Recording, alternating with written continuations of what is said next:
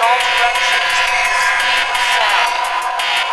It takes about 10 seconds to reach the person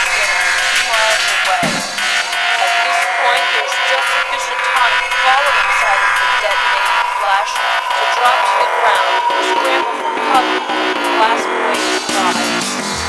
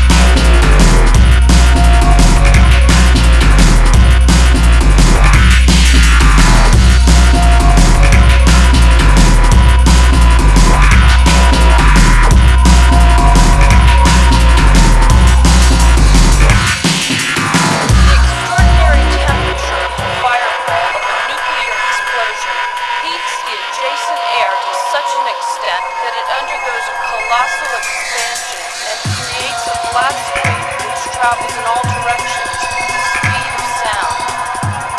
It takes about 10 seconds to reach the person standing miles away. At this point, there's just sufficient time to follow inside of the detonating flash to drop to the ground or scramble for cover before the blast away nearby.